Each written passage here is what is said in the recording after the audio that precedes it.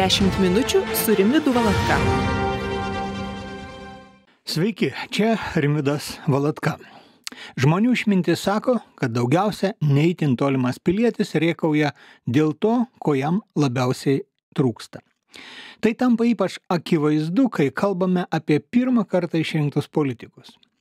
Kai prieš pusrečių metų į Seimą patekęs itin gausus burys valstiečių ėmė kas penkios minutės aiškinti, kad dabar šalį valdys profesionalai, buvo galima nebejoti, kad dabar bus nušluoti paskutiniai profesionalios politikos likučiai kurią pakeis nesibaigiantis mėgėjų bandymai paneigti, kad 2 kart 2 yra 4. Vaizdingiau kalbant, naisių ar kito kaimo krepšinio komanda gali nors po penkis kartus per dieną skelbtis, kad jie yra profesionalai, vis tiek jie nelaimės nei Lietuvos krepšinio lygos, nei turbūt net ir smuklės lygos.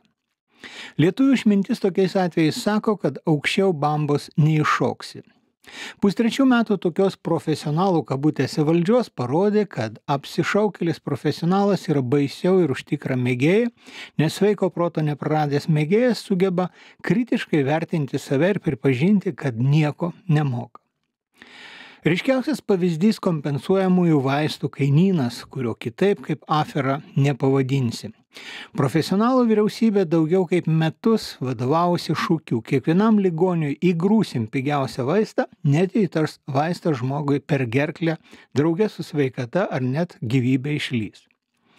Kuo tai baigėsi profesionalų verygos sukta vaistų afera?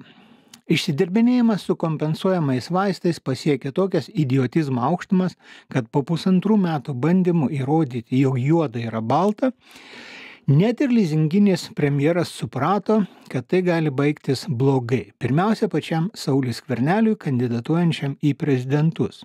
Prieš kovo 11-ąją premjeras taiga nustojo girti verygos vaistų atpiginimo aferą ir netiesiogiai pripažino, kad jo vyriausybė su vaistų kompensavimu priskaldė malkų. Ministras teiks įsakymo projektą, kad tais atvejais, jei bus nustatytos neigiamos reakcijos ir pacientai pacientui e, vaistas netiks, tada gydytojas išrašys kitą vaistą ir už tą kitą vaistą bus kompensuojama pigesnio vaisto kaina visa, reikės tik sumokėti nedidelę priemoką. Tokius žodžius išstenėjo ministras pirmininkas. Kaip būtų pasielgusi bet kuri vyriausybė, jei tik ji 21 amžiuje neišradinėtų dviračio, kai veryga atnešė tvirtinti vaistų kompensavimo naująją tvarką, kuri tūkstančių žmonių paliko be jiems įprastų vaistų. Tikras profesionalas ministras būtų paklausęs kolegos, o tai kodėl žmogus negali ir toliau primokėti skirtumo tarp valstybės kompensuojamo pigiausio ir brangesnio vaisto. Kam keisti tai, kas veikia? Kam nuo to bus geriau? O jei ne vienam žmogui šalyje nuo to nebus geriau, tai kodėl jūs, ponė ministrė, stumėte tokią tvarką, kuri kelia pavojų žmonių sveikatai ir gyvybei ir dar nuteikia piliečius prieš vyriausybę? Tačiau tokio klausimo tada verygai neuždavė nei skvernelis, nei ministras Linkevičius, nei Masiulis, nei Karoblis, nei kiti ministrai.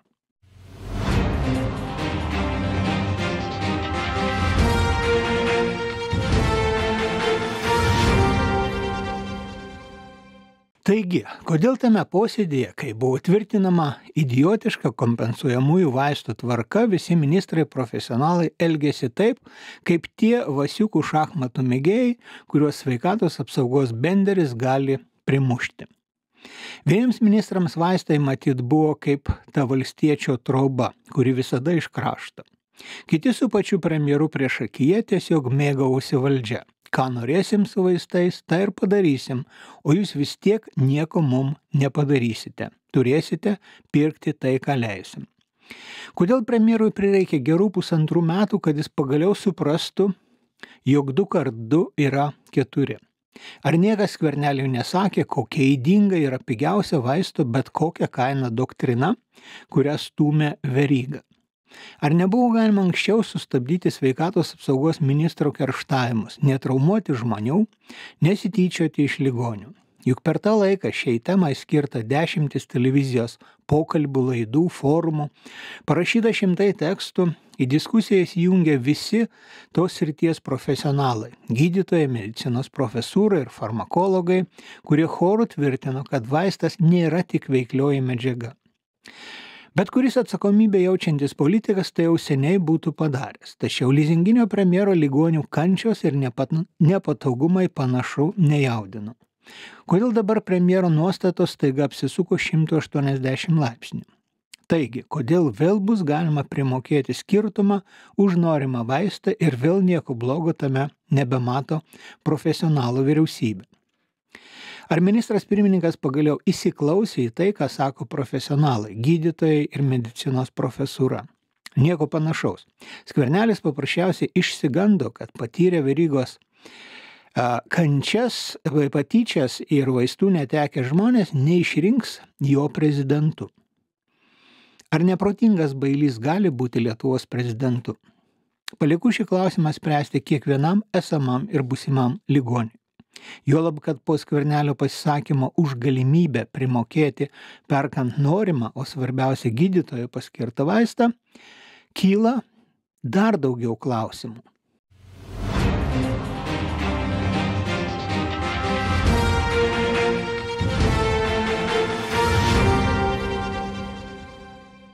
Pirmasis klausimas - kaip dabar jaustis ir ką daryti ministrui Verygai? Ar ministras, kuris iki šiol be jokių apeliacijų tvirtino, kad visi iki vieno generiniai vaistai yra tokie pat geri kaip ir originalūs nauji vaistai, taip pat pakeitė nuomonę? Ar čia tai yra tik suktas valstiečių kompromisas žmonėms subalamūtinti, kurio bus atsisakyta iškart po prezidento rinkimų? Padorus ministras, jei jis būtų tikras, o ne menamas profesionalas, po tokio konfūzo tiesiog įteiktų atsistatydinimo raštą.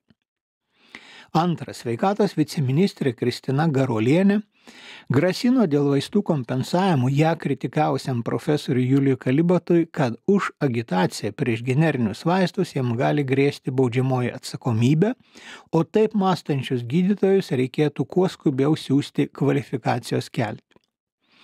Kam dabar, kai skvernelio nuostata apsisuko 180 laipsnių kampu, grės baudžiakas?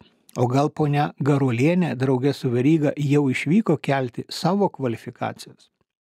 Trečia, o tai ypač svarbu, iš to, ką pasakė premjeras, aiškėja, kad gydytojas valdžia dar sėki ruošiasi padaryti kraštiniais.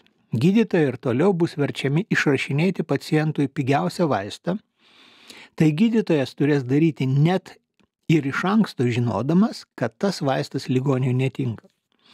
Žmogus iš pradžių turės gydytis veryginiu šlamštu ir tik pasijutęs blogai galės vėl kreiptis į gydytoją ir prašyti kito vaisto. Taip atsitikus gydytojas turės pildyti šūsnį popierių, nors jau ir dabar mūsų gydytojai popierių pildo per daug. Kam ta papildoma nesąmonė? Vienintelis paaiškinimas taip gydytojai turės elgtis tik todėl, kad kerštingas žmogus iš ministro kereslo nekristų nosimi į balą. Bet čia juk net ir Karbauskio karvei jau turėtų būti aišku, kad tai grėsia dvigubų gydytojo darbo apkrovimu. Du skirtingų vaistų išrašymai dėl to paties negalavimo tam pačiam žmogui, tai juk du vizitai pas tą patį gydytoją dėl to paties. Kodėl mokesčių mokėtojų pinigai skirti sveikatai turi būti taip neracionaliai naudojami? Kodėl dėl tolesnio buko valdžios užsispyrimo turi dar pailgėti eilės poliklinikose? Kodėl valdžia vėl tyčiojasi iš gydytojų, negi gydytojas nežino, koks vaistas jo pacientui tinka geriausiai? Ir kokia prasme gydytojams pildyti dar vieną popierių - veryglapį? Negana to, valdžia ligonį paverčia bandomuoju triušiu. Žmogus nori, nenori privalės pradžiai vartoti galimai netinkamo vaisto ir tik pasijutęs blogai turės teisę kreiptis į gydytoją dėl kito vaisto. Bet tai iš esmės yra daktaro Mengelės praktika nacimis mirties stovyklose. Premjerui ir jo ministeriui tenka priminti, kad tokie medicininiai bandymai su gyvais žmonėmis yra seniai uždrausti. Einant tokiu keliu, kokį siūlo premjeras, galim prieiti prie to, kad chirurgai, taupydami pinigus turėtų pradėti operaciją, tarkim, be narkozės. Pacientui pasijutus blogai, iš pradžių jam būtų galima duoti kalt stiklinę spirito ir tik žmogeliui toliau staugiant iš skausmo, chirurgai kviestusi anesteziologą. Tikrai sutaupytume. Ir užsilenktų taip turbūt ne visi, nes juk lietuviai juk ir taip gajus, tiek kvailų politikų jau pergyveno. Regis kandidatui į valstybės vadovus kverneliai tokie elementarūs klausimai vis dar tebėra neįkandami. Kaip skvernelis galėtų atrasti dar vieną Ameriką kompensuojamųjų vaistų pasaulyje? Premjeras dėl to pirmiausia turėtų kalbėti su profesionalais, o ne su mėgėjais tokiais kaip Veryga ar Širinskinė.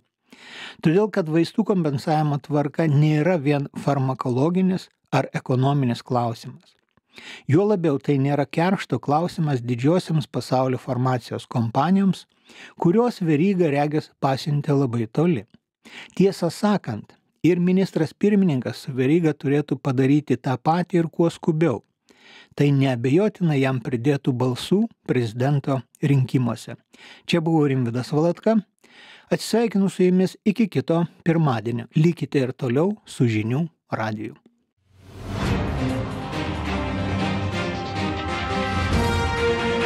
10 minučių su Rimvidu Valatka.